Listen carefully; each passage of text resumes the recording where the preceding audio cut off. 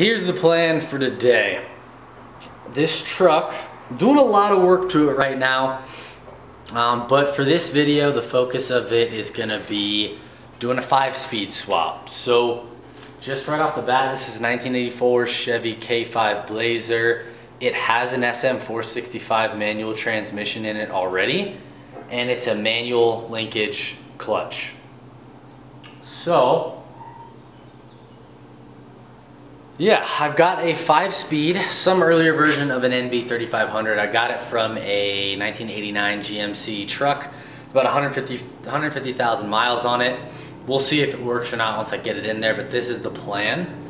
So let me take you over to the transmission and I'll show you that first. So here's what we're working with. I pretty much got, I think, everything that I should need from the guy. He was parting it out. But here's the transmission. Uh, the throwout bearing is toast but I believe this should all be the same and match out. Um, this is the pivot ball for the clutch fork. I also have the cross member. I don't know if I'm gonna need that or not, but I've got it if needed. I have the pedal assembly and the bracket that bolts to the firewall, so everything should be there. I've got the slave and clutch set up here, so there's the slave that goes down and pushes on the fork, which is right there, and the little pin for that goes in front of that. I've also got the master area and there is a pin for that I believe that um, yeah it's right down here. That guy will hook to the pedal and then that'll go into the front of that master. Um, I've got the dust cover sitting right there. My uh, NP208 should bolt right up to the back of this circular pattern deal. I have the transmission mount if I need that as well, if I can't use my existing one. Um, that's really most of what I can think of that I picked up from that guy. So that should be everything that's needed. Come on, focus. Butter. All right. And then I might have to modify the pedal in there to use that existing pedal, otherwise I'll try to use my pedal that I already have. But otherwise, everything's gonna start underneath here is what I'm gonna start with. I'm gonna get the transfer case out first is my plan. Now, the problem with this is I'm pretty sure I'm gonna have to cut the exhaust and then I'll just weld it back together because this little crossover pipe gets in the way of the transmission. I don't think there's gonna be any way around it but we'll see. So I think that's just about everything that I should need for the swap. I will let you guys know what I get into as I go into it. So first step is gonna be drive shafts, always on a transmission. It's gonna be front and rear drive shafts need to come out.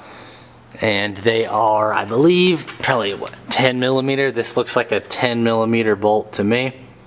Right there, four of them and then the front looks like the same right there. And then there's some bolts that bolt up to the front of the transfer case yoke. So we'll get into that and I'll check back in with you once I have the drive shafts out. Well transfer case is off. I managed to spill a bunch of gear oil right through the holes of my Crocs. So that's gonna stink and it feels great. But so that's out, transfer case is out. I am going to crawl up in the truck and I'm gonna take the shifter, the actual, um, yeah, I think it's the shifter, off of the top and then I will brace the transmission and I'll probably cut the exhaust and bump that out of the way since these 350s have a crossover pipe and this one's not in a good spot. Looks like it's custom. But I'll do that and then I will start working on the bell housing bolts and supporting the transmission and get rid of the cross member. Okay. All right, so check that out, nice. Um, this is the, the earlier version of the NV3500, pulled it out of a 89 GMC. What we're looking for is 10 spline on this shaft, the input shaft, and the output shaft for the transmission, I think is like 27 or 31, something like that, maybe 32. You can double check online. I found a pretty good write-up uh, on like Novak transmission guides. It tells you what the SM465 is, but I counted the shafts and they line up. I measured everything on the front here. It sticks out like six and a quarter, six and a half inches from the base of this all the way to the front of this. This is about just over an inch wide. It's like an inch long. This is about two and a quarter and this is about two and a quarter. And the throwout bearings fit from both the SM465 and this one. They're basically almost identical, a little bit different. Um, so that's what you're looking for on the transmission. You need the, the correct spline count and all the distances that measure up there. You need the six bolt circular pattern in the rear here. That's the same thing that'll bolt up for your transfer case for the SM465 as well as the NV3500. Something that I do whenever I'm installing manual transmissions over here, if you look at this, I always, you gotta take the shifter off. The SM465 actually, well, you still would wanna tape it up, but the, the top here, wherever your shifter goes into, whenever you take that out, obviously you can't mount it with that in there. You gotta take it off. And I'm gonna have to cut a hole in the firewall to account for this because it's further back than the 465. So I always make a cardboard template and then just put the bolts back in and duct tape any holes up so I don't have sparks and grease and whatever flowing into my transmission. That's a good tip there. And then whenever I'm doing a clutch, uh, the clutch on my truck was actually replaced about 10, 12,000 miles ago with the upgraded heavy duty clutch and throwout bearing when the engine was replaced. So I'm not gonna do any of that. I'm leaving that all how it is. But what I am doing is I gotta replace the throwout bearing because that was shot from the donor deal.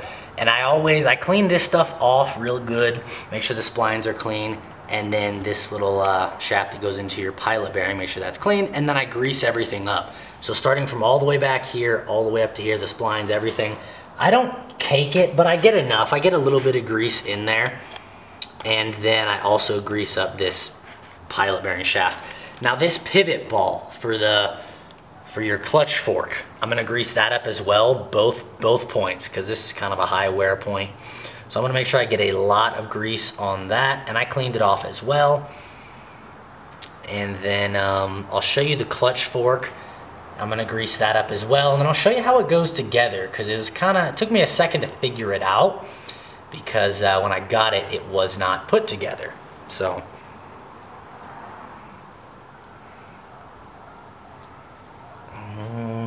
Okay, that should be fine.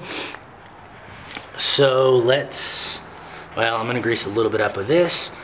So both of these points I'm gonna grease up. We have the, this is where your little pivot ball rests against. Probably don't need to double grease them, but I don't think it's gonna hurt me. So I'm gonna throw it in there while I've got it out and open. And I'm also gonna grease the back side. This is where my rod from the hydraulic clutch is gonna poke into. So I will grease that up as well. That should make sure it doesn't start grinding anytime soon. Now, the way this goes together, this is from an 89 GMC 1500, so that should apply to this truck as well. But if I'm swapping it, it applies to me.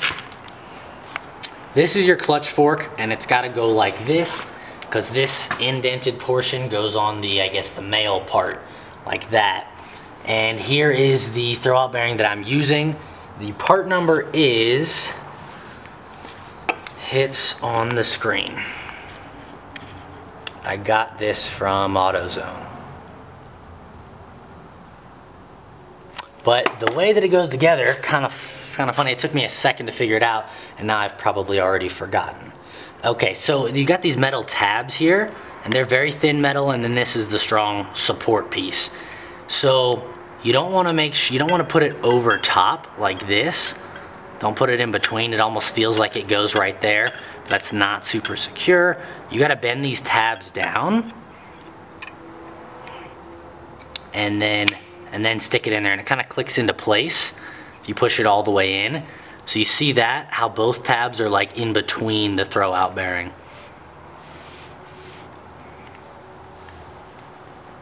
And then when you um, throw it on here, it's going to slide out a little bit.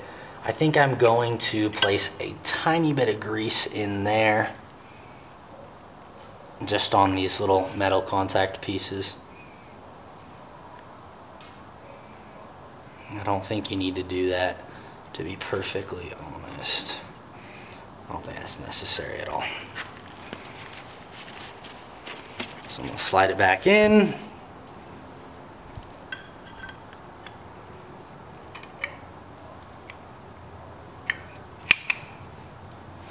Like that.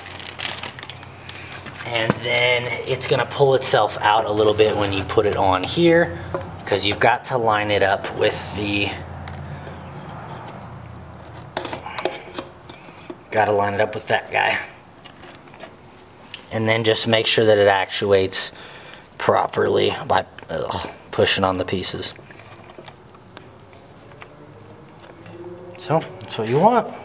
The only thing I didn't think about was the brake lights or the reverse lights actually. When you're in reverse, I believe that's what this is. This was the only plug on the transmission for the SM465, but it's just two pin, one of these typical GM connectors. I took the little, there's a green, orange, or green, it's a green rubber, like isolator to keep dirt and oil out. And then I pulled it off of that. And then if you look at the NV3500 that I have, I don't know if it's because it's an 89 or, or what, but that little uh, isolator the squishy guy fits right in that connector.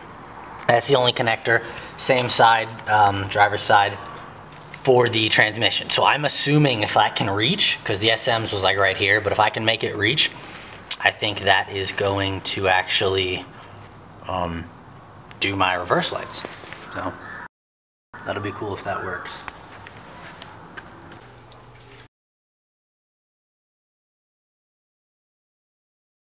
Okay, so it sits in there. There's the NV3500. There's the NP208. There's the 700R4 K5 Blazer. Probably Suburban, same thing I imagine. Cross member right there. And it all bolted up fine. No issues with that little catalytic converter heat shield. Let me get on something a little sturdier. No issues that I can see of right now with the, what is that? Transfer case yoke and um, cross member. That appears, my camera is right in front of the yoke for the front drive shaft. That looks like it's gonna go right in there. I don't think we're gonna have an issue. The exhaust did not fit, so I cut that off. And there's the cutoff pieces up there and up there next to the transmission, the downpipe. I'm gonna get some pipe and I will probably just exhaust clamp it on right now. I'm not gonna weld anything up just yet since uh, I don't know if this transmission is any good. I gotta actually try to drive it for a bit and see if it grinds gears or if it works at all before I can actually weld anything permanently for the exhaust. Otherwise it's gotta come right back out. So I have the speedometer cable just hooked right back up in there. The four-wheel drives like light switch on your dash plugs right into the top of the transfer case. No issues there. It's the same transfer case. And like I said earlier, there is the plug-in for your reverse for the NV3500. Here's my wiring harness from the SM465. I think they're gonna plug in. I need to unbutton some bolts on the firewall to give myself more length, but I think it's gonna plug right in there, no, no issues, hopefully. So after this, rear drive shaft isn't gonna be an issue, it's the same length. Front drive shaft isn't gonna be an issue either, same length, so I'm not too worried about that. I just have to wrap up the exhaust. I need to cut a hole in the firewall. Oh, so the four-wheel drive linkage, that's all hooked back up right there. It went right back into place, because like I said, it didn't go back at all. So um, I didn't have to move anything or adjust that, that guy on the four-wheel drive, but I gotta make sure that I can fit the shifter in here and cut a hole in the firewall right up there before I put this little, you know, cotter pin in that guy and firm that up. So that's what I'm gonna do next is cut the hole in that and work on the exhaust. Well, no, exhaust will be last. I'm gonna cut the hole in the firewall and then I'm gonna work on the pedal and the hydraulic clutch that should bolt right up over here and I gotta put the dust shield on as well. That's where we're at. All right, so I've got the shifter installed. And as you can tell, well, gotta shake the camera around a bit more. But as you can tell, I had to cut the the tunnel here. There's the top of the transmission. That's where the SM465 shot through. And it pretty much wrapped up right around where the top of my shifter is coming through for the NV3500. So I had to chop it down a bit.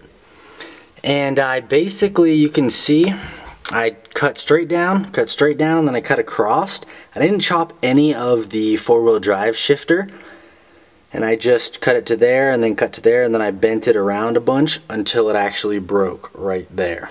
So it does go through all the gears right now. Try to hold the light. Uh, you know, there's first, second, third, fourth, fifth, and then reverse. Doesn't seem to hit anything anywhere. And we're all the way far and to the right and down, so. Seems like it has all gears. We'll find out sooner or later. Now I want to see how the shifter boots line up.